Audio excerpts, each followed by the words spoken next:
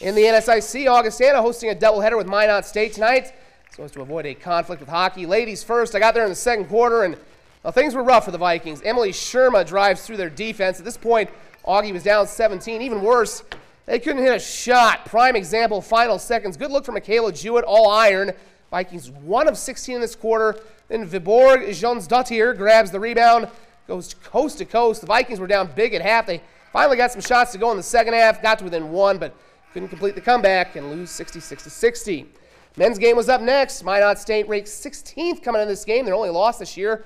They handed Mankato their only loss of the season. First half, Vikings didn't seem to care. In transition, Isaac Fink from the wing. Trey is good, and they're out to the lead.